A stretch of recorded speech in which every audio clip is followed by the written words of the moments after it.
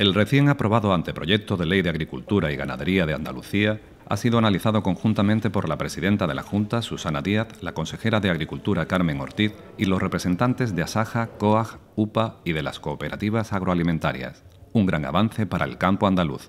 Es una ley que responde a la realidad de un sector agroalimentario que en Andalucía es un pilar básico de la economía y que es moderno. Y esta ley responde a ese sector. Y además responde a otra cuestión que es objetiva, que el sector agroalimentario está manteniendo la vida en muchos pueblos y en el territorio rural. Y son, creo, dos elementos cruciales una futura ley que se debatirá para su aprobación definitiva a partir de la próxima primavera, un hito histórico que pretende responder a las múltiples necesidades del campo andaluz. La modernización, la innovación tecnológica, estudiar y ahondar medidas para evitar la especulación en la cadena agroalimentaria, conseguir unos precios dignos para nuestros productos o al menos intentar y trabajar porque ello suceda, mejorar si cabe la ley de cadena agroalimentaria que hay a nivel del Estado, eh, intentar por todos los medios que al final haya un proceso para bajar los costes de producción en ese sentido los temas de I más D más I van a ser básicos y elementales. Las organizaciones dan la bienvenida a una nueva ley de la que están siendo partícipes, haciendo especial hincapié en el relevo generacional, los seguros agrarios y la demanda de los precios justos.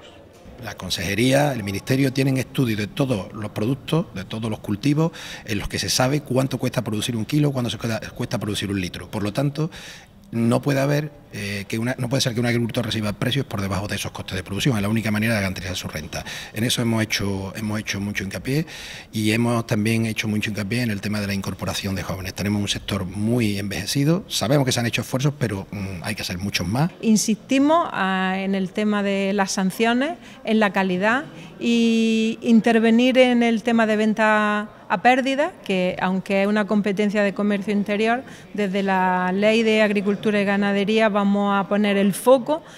también no solamente en la industria, sino también en la distribución y también con revisiones de calidad obligatorias cuando haya eh, venta a pérdida de cualquier producto. Un marco legal para avanzar en la sostenibilidad, el empleo, la integración social y la igualdad de género y una apuesta fuerte por el refuerzo de la interlocución del sector a todos los niveles. También se elevará a una interlocución del sector agroalimentario en el que puedan estar representados no solamente las organizaciones agrarias, cooperativas, sino que también estén representadas otras consejerías, eh, desde el punto de vista de los ecologistas y muy importante la industria, para que haya un foro de debate que, como digo, sea de más altura y en muchas ocasiones necesario para abordar algunas cuestiones. Además, la nueva ley incorporará novedades sociales y solidarias muy interesantes se va a exigir a las cadenas que eh, los excedentes eh, alimentarios se puedan dar o bien a organizaciones, a ONG,